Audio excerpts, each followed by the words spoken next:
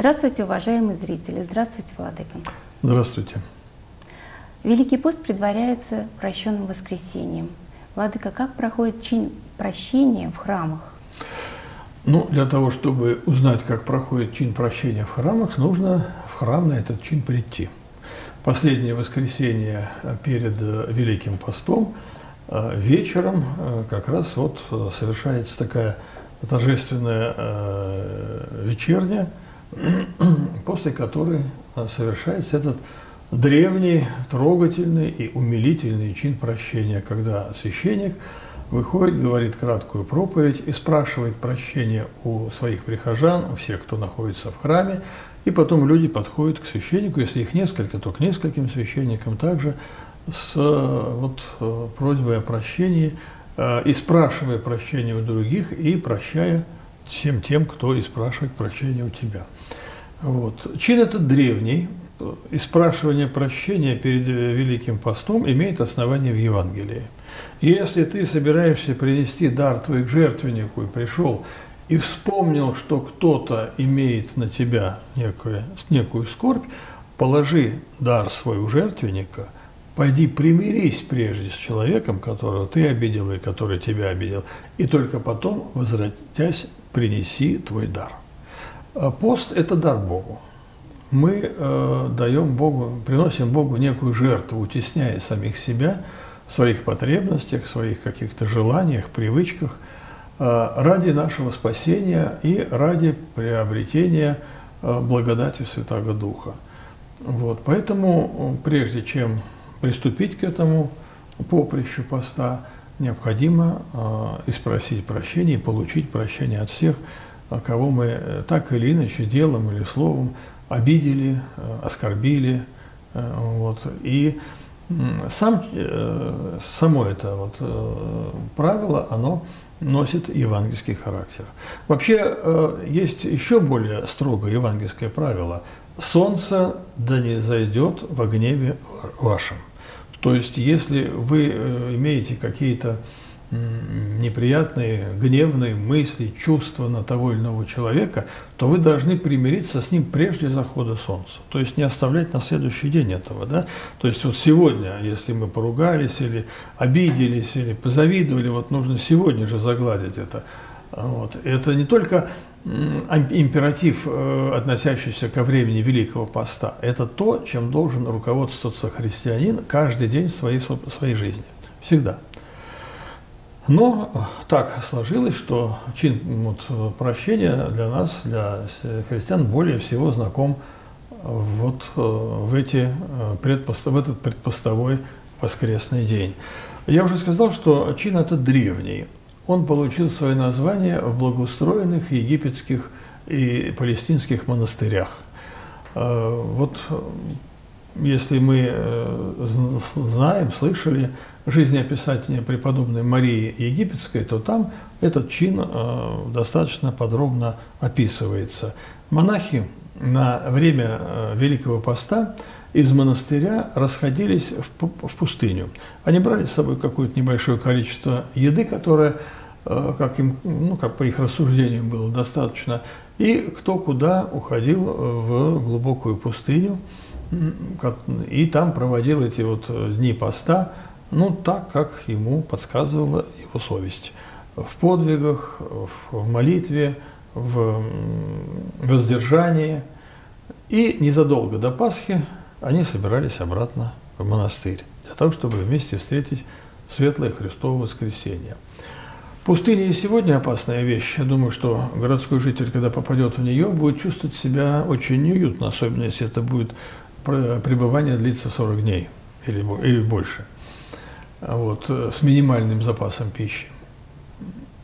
А тем более в то время, когда, помимо всего прочего, э, но не было средств навигации, в пустыне можно было заблудиться и там остаться навсегда. Когда в пустынях жили дикие звери, и такие как львы, например, мы знаем об этом из истории, из жизнеописаний различных, можно быть съеденным Э, хищниками, там, гиены, шакалы и прочее. Все это, э, конечно же, э, никто из расходившихся из монастыря в пустыню отцов не знал, вернется ли он обратно. И поэтому, прощаясь друг с другом, братья обязательно и спрашивал прощения, как перед смертью, как перед, перед своим концом. Вот, они пели пасхальные песнопения, вот, без заключительного песнопения «Христос воскресе», вот, пели пасхальные стихиры и расходились в пустыню. Кто-то из престарелых братьев оставался один или два человека в монастыре, э, вот как бы совершать богослужение и охранять его, ну и ждали, когда вернутся остальные. И вот этот чин э, прощения, он э, прижился, вышел, как бы так сказать, из монастырских стен и прижился в том числе в приходских храмах во всем православном мире. И сегодня он совершается практически так же, как совершался полторы тысячи лет тому назад. Кстати, вот э, прощенное воскресенье совпадает с последним днем масленичных гуляний, разгульных масленичных гуляний. Вот как к этому относится церковь? Церковь относится к масочным гуляниям спокойно, если это не принимает каких-то, а, ну, совсем уж таких э, форм э, разгульных. Да? Вот. Э, Масленица – это время такое перед постом, оно достаточно э, веселое, оно так, так э, люди ходят друг к другу в гости. Вот. Ну, конечно, когда это все превращается в какой-то праздник обжорства и в э, всякие сжигания чучел и все прочее, это, конечно, как, неправильно. Как раз прощенное воскресенье. Это, как, да. это неправильно, да, потому что тем более, тем более, что это на самом деле не столько народные обычаи, сколько уже поздние уже наши такие поздние советские, постсоветские реконструкции. Вот, э, скажем, еще 150 лет тому назад никаких чучел никто повсеместно не сжигал. Это уже, э, так сказать, такая новая в кавычках традиция, которая ничуть не лучше э, какого-нибудь Хэллоуина, вот, и которые пытаются выдать за некие национальные русские традиции. Это, конечно, плохо, и церковь к этому относится отрицательно.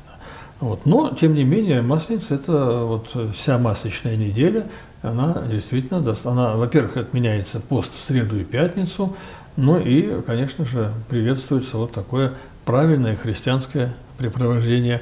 Кроме того, мало кто об этом знает, но на этой неделе в храмах уже звучит молитва преподобного Ефрема Сирина, которая э, звучит Великим постом. В среду и пятницу богослужение на э, вот этой масочной неделе но практически великопостное.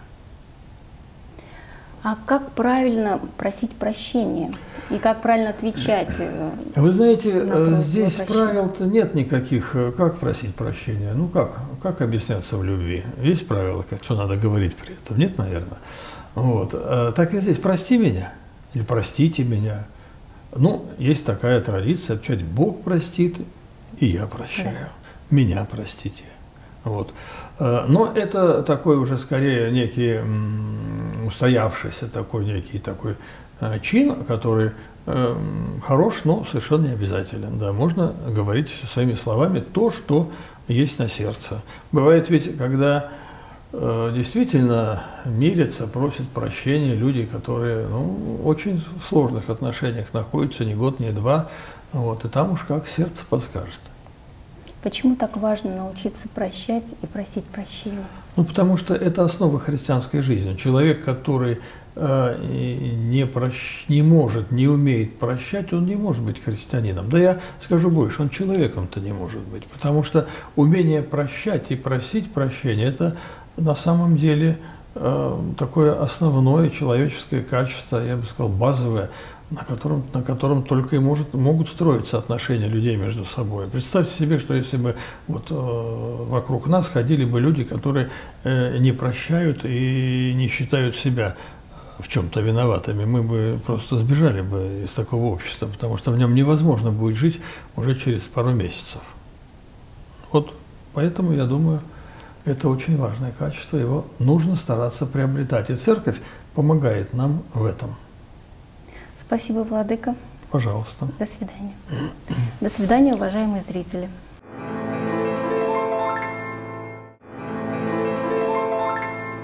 Исправительная колония номер 2 города Новоульяновска. 4 марта здесь торжественно встречали святыни, иконы с частицами мощей симбирских святых. Храм в честь Архангела Божия Михаила в этот день впервые посетил митрополит Симбирский и Новоспасский Лонгин. Сегодняшнего дня эта святыня э, Симбирской земли будет находиться здесь, для того, чтобы верующие люди могли приходить, молиться э, святым угодникам Божьим, просить помощи у них, молитвенной помощи, поддержки в э, перенесении того, что и им вот предстоит перенести в своей жизни. В Михаило-Архангельском храме владыка совершил божественную литургию – Руководство исправительного учреждения отмечает, что осужденные, согласно правилам внутреннего распорядка дня, имеют возможность посещать храм, находящийся на территории колонии. Всего на данный момент приходит помолиться около 100 человек. Сотрудники Федеральной службы исполнения наказаний считают, что молитва в храме является важным этапом на пути к исправлению и последующей адаптации в обществе. Отдельную благодарность они выражают председателю епархиального отдела по взаимодействию с правоохранительными органами протеерею Святославу Еренкову. Это вообще впервые в Ульяновской области Владыка посещает наше учреждение. И данное посещение мы приурочили с передачей э, святых мощей э, наших святых Ульяновской области. Мы используем все формы и методы воспитательной работы. Одна из форм воспитательной работы – это, как бы сказать, приобщение к святому. Мы приобщаем к этому и родственников, и близких. То есть, э, как бы сказать, опять же, проходим воспитание через семью, через церковь. По окончании богослужения храму в честь архистратига Михаила были переданы иконы с частицами святых мощей преподобного исповедника Гавриила Меликесского и блаженного Андрея Симбирского. Благодарю за то, что вы пришли сюда, собрались, что мы побыли на службе. Я понимаю, что не всегда не все просто в вашем положении, в котором вы находитесь. Вот. И я хотел бы от всей души пожелать вам, чтобы Господь слышал бы ваши молитвы, чтобы, э, как мы сегодня вот молились за э, божественной литургии, чтобы Господь как можно быстрее вывел бы вас из этого места на свободу, туда, где вас, большинство из вас идут близкие, вот, и туда, где можно начать жить сначала, оставив за порогом вот этого учреждения все, недоброе, что было когда-то в вашей жизни.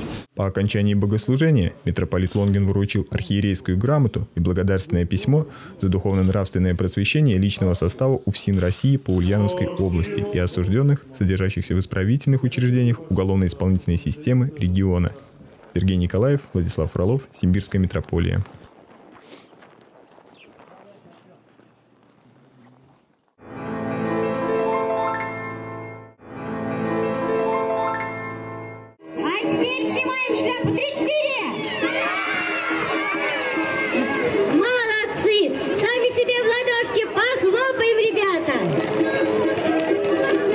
Воскресный солнечный день.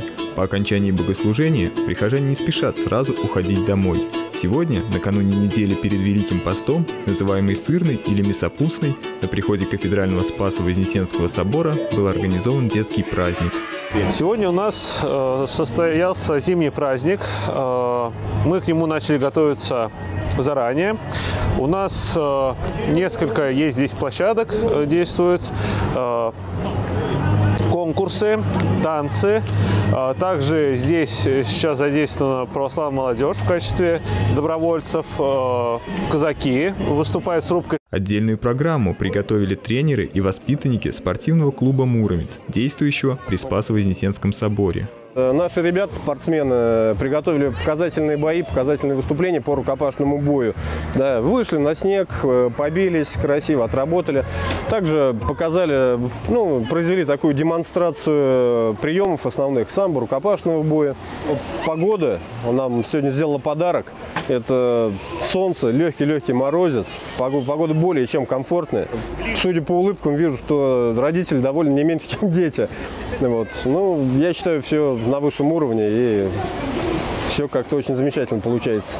В рамках праздничной программы были организованы подвижные игры и танцы для детей, катание с горки, прогулки верхом на пони и спортивные состязания. Симбирские казаки показали свое умение владеть шашкой. Все желающие смогли угоститься блинами и горячим чаем.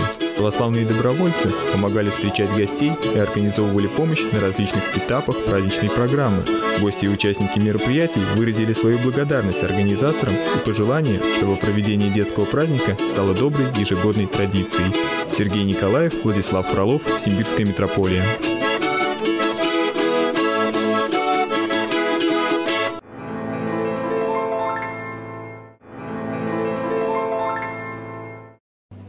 Жадовский мужской монастырь находится среди лесистых холмов Барышского района, на самом краю Ульяновской области, недалеко от рабочего поселка Жадовка. Отсюда и пошло название. Подъезжая со стороны Барыша, обитель раскрывается как на ладони. Осенью она особенно хороша, окутана золотистой листвой деревьев. Нас встретил отец Никодим. Знакомство с монастырем началось с исторического и святого места – целебного родника, где три с половиной века назад была обретена главная святыня земли Симбирской – чудотворная жадовская казанская икона Божией Матери. По преданию, которое дошло до нас, она явилась крестьянину Тихону, который на тот момент около шести лет болел. У него не двигались ни руки, ни ноги. Как христианин он нес этот крест болезни с терпением, молился, просил помощи Божией.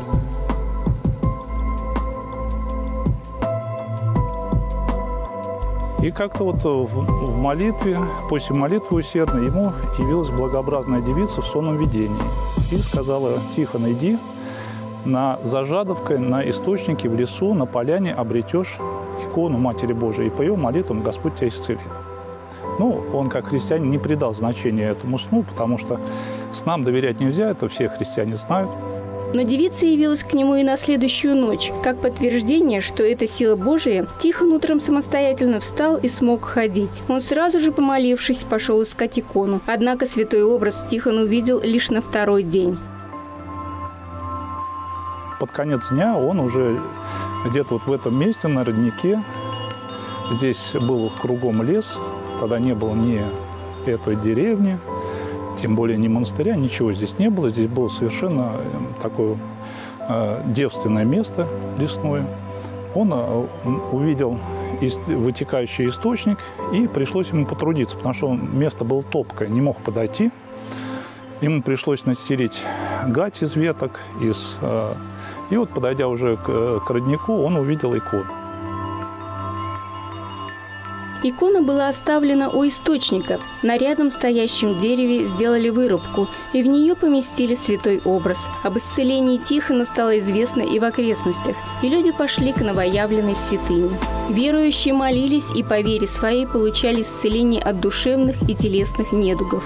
Чуть позже, по инициативе помещика Обухова, кому принадлежала эта земля, и по благословлению священноначалия, на данном месте была построена часовня. После этого помещик стал хлопотать, чтобы здесь был открыт монастырь. Он отвел в дар будущей пустыни весь этот участок земли. Первым насельником монастыря и основателем-строителем стал игумен Михаил из Сызранского Вознесенского монастыря. Постепенно стало собираться братья. Монастырь вел уединенный образ жизни, но паломники приходили сюда всегда, чтобы приложиться к святому образу Богородицы, и спить и умыться в источнике. Вот сейчас мы стоим на дороге, по которой паломники, в принципе, ходили на протяжении 300 лет в монастырь, приходили к Божьей Матери помолиться для нас такой артефакт, который нас вот объединяет с теми э, поколениями верующих, которые и монахов, которые здесь жили, трудились, молились.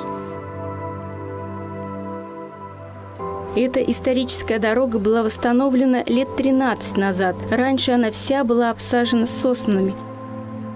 Сейчас от аллеи осталось всего семь сосен. Первый храм на месте будущего монастыря появился за три года до открытия обители. В 1711 году тот же помещик Обухов заложил здесь храм во имя Казанской иконы Пресвятой Богородицы. Он был освящен в 1714 году. Этот год принято считать годом основания обители. Туда перенесли обретенный образ, названный Жадовской Казанской иконой Божьей Матери. Но спустя чуть меньше 20 лет обитель была упразднена, а потом закрыли и сам храм. Только через век в пустыне вновь начались регулярные богослужения, и стало возрождаться монашеское житие. С 1847 года, когда приблизилась холера, регулярно стали совершаться крестные ходы с чудотворной иконой в Симбирск и другие места губернии. От э, исторических зданий монастыря у нас осталось два здания. Вот эти два корпуса, э, которым вот этому где-то 180 лет, этому около 200 лет. Эти корпуса были построены в 19 веке уже, когда монастырь был возрожден после первого закрытия. В 1920-х годах при советской власти у монастыря были изъяты ценности, экспроприированы постройки и земля. На святом и намоленном месте расположилась школа колхозной молодежи. Весной 1930 года были арестованы последние насельники обители во главе с архимандридом Калистом. Спустя еще почти 40 лет был разрушен Казанский храм. По воспоминаниям очевидцев, святыню буквально разрывали при помощи тракторов, а потом сгрудили за пределами монастыря. До сих пор гора кирпичей, покрытая слоем земли, возвышается над дорогой. На нем стоит часовенка, где в последние годы круглосуточно братья монастыря, поочередно сменяя друг друга, читают псалтырь в память о тех, кто служил здесь ранее. В 90-е годы прошлого столетия монастырь находился в печальном состоянии. Все три монастырских храма были утрачены. Частично сохранились трехметровые монастырские стены с аркой въезда и три разваливающиеся башни. Но свершилось чудо. Как говорят свидетели, в 90-х годах на одном из сохранившихся зданий были явлены три иконы. Эти образа были не рукотворены. Они как явились, так они исчезли. В ночное время они э, светились. Потому что вот я разговаривал, свидетели были, вот, которые, они говорят, ребята, мы с дискотеки шли, там что-то происходит, мы приходили, видели, иконы светились. А, здесь даже пытались отключать электричество, потому что думали, что это кто-то какие-то слайды показывает. После этого случая стали поступать во вновь возрожденную епархию просьбы о возрождении монастыря. Осенью 1994 года святейший патриарх Московский всея Руси Алексий II и Священный Синод Русской Православной Церкви дали свое благословление на возрождение Жадовского Богородицы Казанского мужского монастыря. И в 1997 году здесь уже был назначен первый наместник нашего монастыря, вот как раз о брате э, особо надо сказать, а это был игумен, э, схиегумен Агафангел. Тогда он был иеромонах, еще молодой священник, ну, достаточно молодой, ему 30 с небольшим было. Он э, служил в городе Барыше вторым священником. И вот здесь он, он уже почил в 17 году, вот здесь он за собором похоронен. Ступив на монастырскую землю, иеромонах Агафангел увидел развалины. Два старых корпуса без окон и дверей и три полуразрушенные башни. Но молодой священнослужитель не испугался трудностей и потихоньку вместе с пришедшей братьей начал возрождать монастырь. Вначале построили деревянный храм. В нем начались периодические богослужения. В 2009 году было завершено строительство нового Казанского собора. Входя в храм, мы сразу встречают нас архангелы, архистратик Божий Михаил и э, Гавриил, и ангелы-хранители. Вот на один ангел «Вниду в дом, то и поклонюсь, ко храму святому твоему рукописанию, а второй «С миром изыду из, из а, храма». В левом пределе храма под синей хранится главная святыня монастыря – икона Казанской Божьей Матери. Можно сказать, это чудо, что икона сейчас находится там, где была обретена более 300 лет назад. В советское время она пропала и казалась безвозвратна. Тайна ее нахождения была раскрыта лишь в самом конце прошлого столетия. Оказалось, что за несколько дней перед закрытием Жадовской пустыни архимандрит Калист отдал это бесценное сокровище на хранение местному врачу Архарову. Но в 1930 1937 году врача арестовали, и икона была передана теще по его просьбе бухгалтеру Ираклионову, когда-то окончившему духовную семинарию. Только в конце 70-х годов 80-летний тайный хранитель иконы решился передать ее настоятелю Николаевского храма в селе Оськино, Иерею Николаю Шитову. Отец Николай завещал вернуть чудотворную икону в родной монастырь, если обитель возродится. Что и было сделано батюшкой, сберегавшим образ Царицы Небесной Жадовской пустыни 20 лет. В этом году в главном храме монастыря завершили роспись. В главном пределе вся роспись посвящена Пресвятой Богородице. Над иконостасом изображено важное событие для церкви – покров Пресвятой Богородицы с предстоящими. Показано чудо, которое произошло во Влахернском храме Константинополя Симферополя. С правой стороны от иконостаса мы видим Вселенскую Церковь, Матерь Божию и предстоящих перед ними христиан. С левой стороны, перед Матерью Божией, молятся русские святые.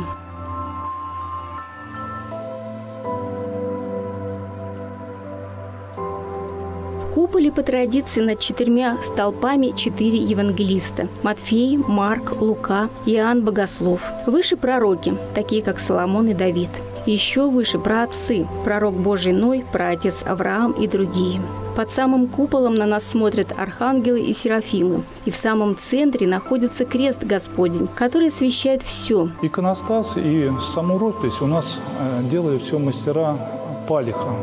Это древнее русское село, в котором э, на протяжении уже столетий люди одаренные, и они занимаются иконописью. Занимались в советское время, там были какие-то шкатулки писали, но на самом деле это древнее село иконописцев. На иконостасе изображены симбирские святые, блаженный Андрей Симбирский чудотворец, небесный покровитель Симбирска и преподобный Гавриил Меликесский. В свое время Гавриил Меликесский был послушником Жадовского монастыря на протяжении трех лет, пока его не забрали в армию. Вернуться в монастырь он не смог, обитель к тому моменту закрыли. Малый предел – это предел в честь э, святителя Тихона Мафунского. И здесь он уже такой э, расписанный иконописцами именно как монашеский такой предел. Прямо над входом в пределы распят образ монашеских обетов. Как апостол Павел говорит, что э, распять свою плоть со страстьми и похотьми, вот что на кресте как раз крест является послушание, чистота, нищета, да? То есть это три монашеские обета послушание, нестяжание и целомудрие.